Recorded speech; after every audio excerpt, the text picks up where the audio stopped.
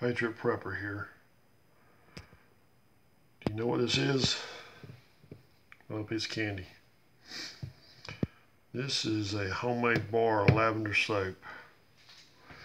This is a skill that's kind of been revived and pretty much an essential skill.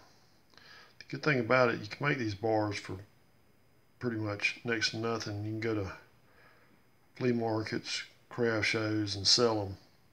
It's a good way to get extra money to put towards your inventory of stuff. And also, good to know in case shit hits the fan as well. As you can see, the uh, dark spots for lavender.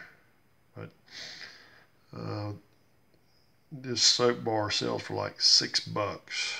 To me, that seems a little high, but I don't know all the ingredients of it. But I will be making some so I can get a idea on the uh, cost of it.